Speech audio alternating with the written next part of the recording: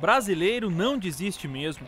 E não é que a insistência deu certo. O técnico Dunga deu uma colher de chá e deixou a torcida ficar mais perto dos craques. Agora a torcida brasileira está um pouquinho mais feliz com o Dunga? Tá, tá satisfeito.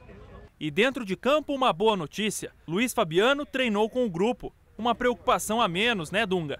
Mas Kaká, já liberado do departamento médico, foi poupado mais uma vez. Segunda-feira cinzenta, fria, com clima ideal para a preparação.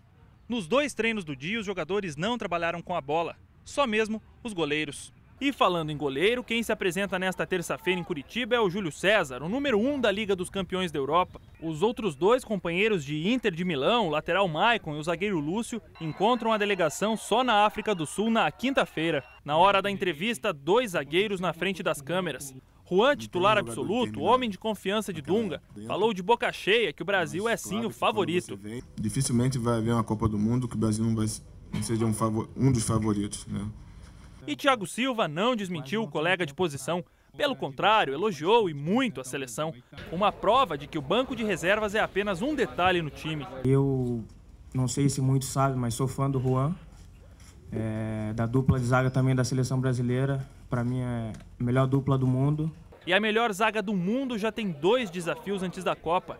A CBF ainda não confirma, mas Tanzânia e Zimbábue podem ser adversários em amistosos no início de junho. Mas o que importa mesmo para a torcida é Brasil, é Brasil na cabeça.